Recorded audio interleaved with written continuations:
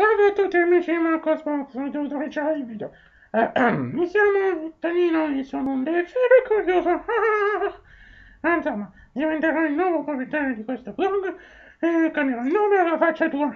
Stupido. Guarda il mondo. E abbatterò tutti i pinguini. Vabbè. Ciao.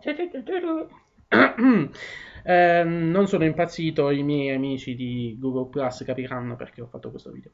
Salve a tutti amici di Marcosbox, benvenuti in questa nuova puntata di 4 chiacchiere all'interno del mondo pensoso. La puntata di quest'oggi la voglio dedicare a commentare a caldo con voi la notizia che ho appena postato sul blog, ovvero la presentazione presso la Tizen Conference che si sta tenendo in questi giorni negli Stati Uniti eh, della nuova versione di Tizen OS, eh, Tizen OS 3.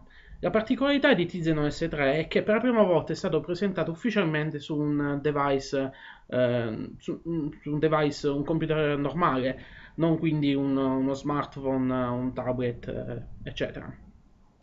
Come ben saprete, Tizen è un uh, sistema operativo basato su Linux, eh, sviluppato attualmente da Samsung e Intel, ehm, che vedrà la luce ehm, nei prossimi, nei prossimi mesi su, si concretizzerà in un device realizzato appunto da Samsung con un processore Intel, eh, uno smartphone che sarà in grado di eseguire applicazioni native Android e altre cosucce. Questo sistema operativo eh, se ne sta parlando da, da, molto tempo, pare promettere bene anche se io ho paura che faccia la stessa fine che ha fatto Bada, Bada. Bene, ehm, che, come dicevo in apertura, ehm, la particolarità è che adesso, presso la Tizen Conference, è stato finalmente pub- eh, pubblicizzato un, un, una versione desktop di, di questo sistema operativo. Uh, Tizen OS 3, così come è stato chiamato, eh, non è altro che Tizen eh, applicato con Gnome 3, Gnome 3 per, per, gli amici, d'ora in avanti lo chiamerò così, eh, perché evitiamo di, di fare, perché se no mi incarto con la pronuncia e tutto il resto, vabbè. io lo chiamo così, quindi non rompete le scatole. Eh, dicevo, ehm, con Gnome 3 è ehm, la presenza di una versione modificata di Gnome Shell.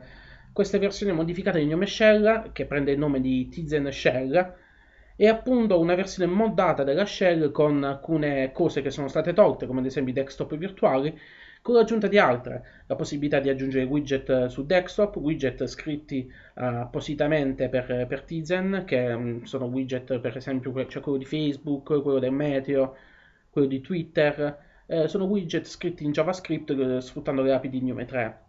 Um, altre aggiunte che sono state fatte, ad esempio, è stata aggiunta una, una barra con le, applicazioni eh, preferite. Eh, nel video possiamo vedere Shotwell, File, um, um, vediamo anche in esecuzione uh, Steam e altre cosucce. Quindi praticamente uh, hanno, preso, hanno preso Tizen OS, hanno preso Gnome, hanno preso il parco applicazioni di Gnome, ne hanno aggiunte qualcuna, uh, qualcuna specifica, e hanno modificato la Gnome Shell per meglio adattarla e um, realizzare un ambiente, per così dire, um, non troppo alieno per chi proviene da, uh, dal mondo Windows, perché come ben sapete la, il problema di Gnome Shell è che la sua interfaccia un uh, lascia un po' spiazzati per quegli utenti che si avvicinano per la prima volta a, questa, a questo modo di, di, gestire il desktop.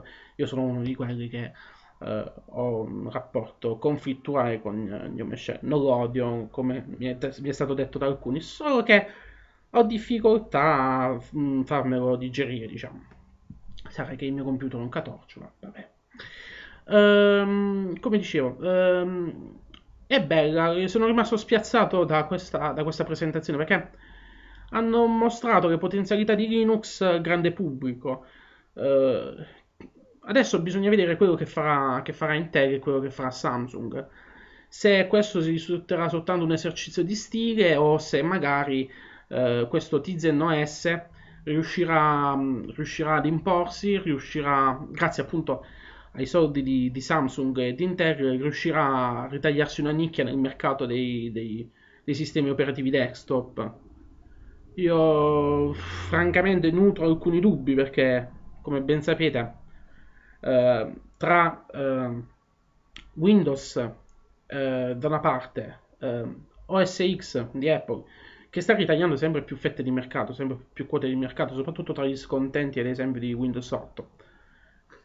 E il timido approccio che sta facendo, cioè timido, tra virgolette timido, eh, che, sta, che sta compiendo, che sta compiendo eh, Google con il suo Chrome, Chrome OS, che sta cercando in tutti i modi di, di farlo passare come un sistema operativo eh, innovativo e quant'altro eh, adatto a tutti, tutti gli usi. Però, bah, come avete potuto modo di vedere, sarà che forse in Italia siamo, abbiamo problemi perché, come sapete, come essere richiede una connessione sempre attiva. In Italia facciamo leggermente schifo sotto questo piano, sotto questo punto di vista. Ma...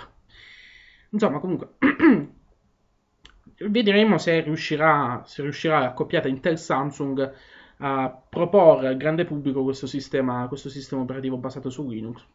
Per noi, per noi pinguini è tutto, tutto di guadagnato perché eh, come, se abbiamo dei grandi big che investono, eh, questi eh, non possiamo che avere un ritorno positivo eh, da tutto ciò.